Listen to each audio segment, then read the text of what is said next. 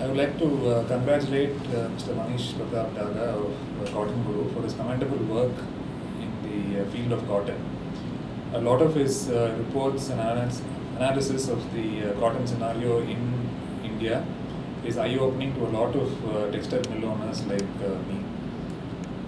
He is also one of the valuers of textiles and cotton in the country, and I think he is giving a lot of value-added services in that front.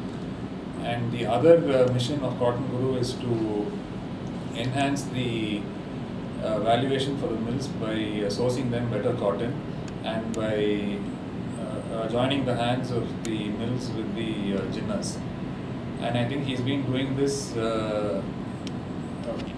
a lot of dedication, interest, and he is also very, very careful that he sources the best cotton for the mills.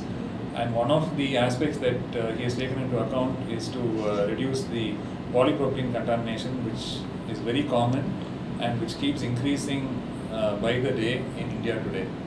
So he has created a lot of awareness with the uh, farmers by visiting them in the farmlands and also visiting a lot of gins in the country and by educating the ginners and the farmers the importance of quality cotton and how such contamination can uh, bring them bad reputation and how they can actually cut down uh, cut down the sourcing from the mills.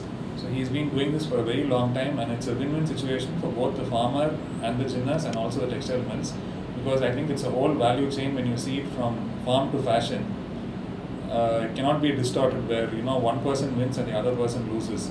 It has to be a win-win situation for the entire supply chain. So I think in terms of uh, the supply chain management, uh, Cotton Guru has done a lot in terms of bringing the best quality cotton to the uh, mills and also uh, creating an overall awareness about the importance of quality cotton.